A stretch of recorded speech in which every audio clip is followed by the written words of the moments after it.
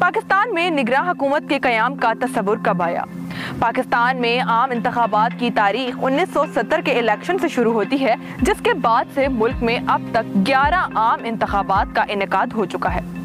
याद रहे कि जब सन 1973 का आयन वजूद में आया तो इसमें निगरान हुकूमत की तश्कील के हवाले से कोई जबता मौजूद नहीं था।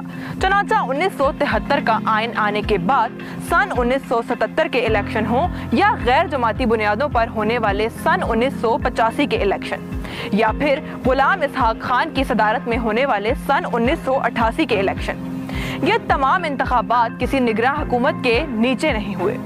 दर हकीकत, सन 1990 के इलेक्शन से कबल पहली मरतबा पाकिस्तान में निगरान हुकूमत की तश्कील की गई, जिसकी निगरानी में इलेक्शन हुआ।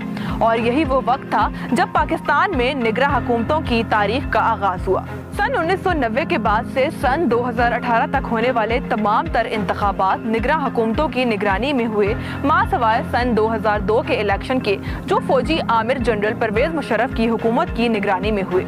और इसके लिए अलग से सेटअप तश्कील नहीं पाया था। पाकिस्तानी सियासत की तारीख पर नज़र रखने वाले माहरीन के मुताबिक सन 1977 के इंतबात के फौरी बाद निगरान हुकूमत की तश्कील का तस्वुर पहली मरतबा पाकिस्तान में हुआ था। 1977 के इलेक्शन उस वक्त की हकूमत ही की निगरानी में हुए थे, मगर इसके जो नतज निकले तो ये ख्याल पैदा हुआ कि इलेक्शन के इनका के लिए निगरान सेटअप होना चाहिए, ताकि शफाफियत को यकीनी बनाया जा सके। Mariam Khalil, digital magazine, Islamabad.